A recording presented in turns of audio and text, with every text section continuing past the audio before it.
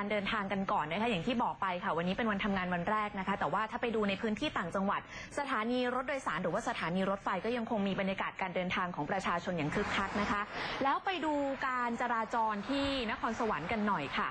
เรียกว่าถนนที่มุ่งหน้าเส้นทางเข้าสู่กรุงเทพมหานคร ปริมาณรถหนาแน่นนะคะ โดยเฉพาะทางหลวงหมายเลขหนึ่งเจ้าหน้าที่ก็ยังคงต้องเร่งระบายรถไม่ให้ติดสะสมค่ะ ยังคงมีบรรยากาศการเดินทางกลับหลังจากที่ฉลองเทศกาลปีใหม่กันเนี่ยนะคะขณะเดียวกันทางหลวงหมายเลข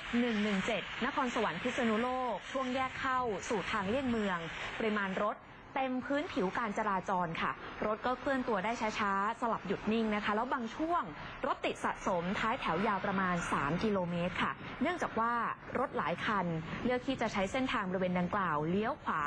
เข้าถนนเลี่ยงเมืองหมายเลข 122 นะคะ เพื่อที่จะหลีกเลี่ยงปัญหาการจราจรที่แออัดในตัวเมืองนครสวรรค์นั่นเองค่ะ